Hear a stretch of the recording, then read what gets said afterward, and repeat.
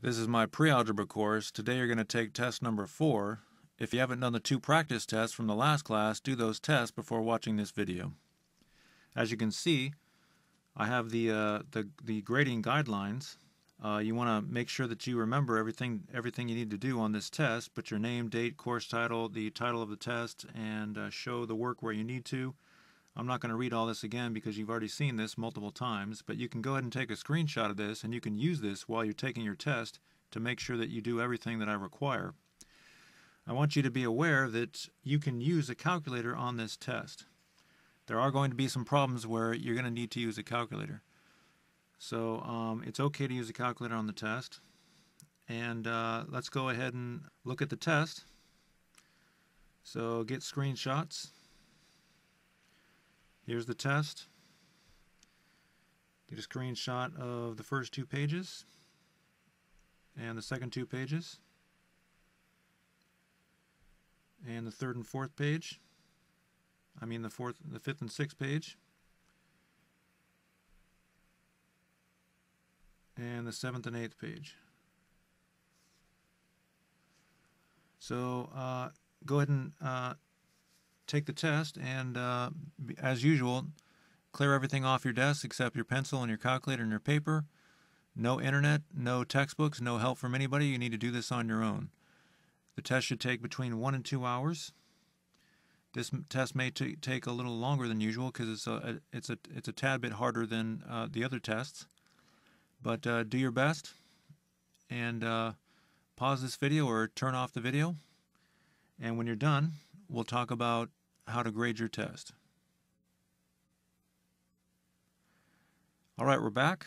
So you should have the test uh, finished. So let's uh, let's talk about grading your test. Um, let's see here. I think there was only one problem that had multiple parts. So for 21, it would be two points for, for A and two points for B. And so let's go ahead and look at the answers. So go ahead and get a screenshot of these answers.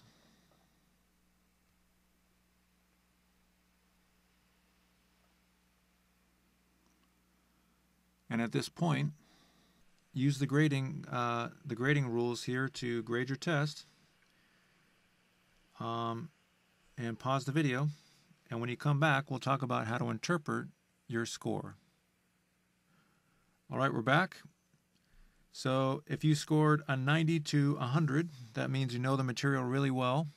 If you scored an 80 to an 89, that means uh, you know the material well, but you have some minor issues to work on. And if you scored a 70 to 79, that means you know the material, but you have some major issues you need to work on. And if you scored anything lower than a 70, that means you're doing very poorly in this course. And 99% uh, of the time, the reason that students do poorly is because they just don't uh, follow my directions. They don't take the, the test seriously. They don't study for the test. You cannot take a math test and pass it without studying for the test. If you didn't study for the test and you took this test, you found out that it's impossible to pass a math test without studying for the test. You might think that you can, you can't.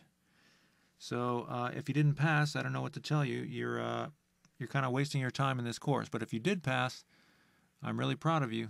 Good job. You're going to start accelerating far beyond other students in uh, formal schools. So we're starting to pick up some momentum now. So you should be proud of yourself. Uh, take that test, put it put it in your binder if you're using paper, and if you're using a digital notebook, keep a record of that test. So you have something to show people to prove that you uh, uh took this uh, course. And uh, I'm really proud of you. And uh, if you didn't pass the the uh, the test, then you need to go back. You need to buy a textbook, look through the textbook, find problems like this, and just do problem after problem after problem after problem after problem. Because if you don't learn this material, you can't go to the next course. Uh, the, the next test, I believe, is going to be a review for the final the final test. So uh, if you've made it to this point, again, I'm proud of you. Good job, and uh, I'll look forward to seeing you in the next class.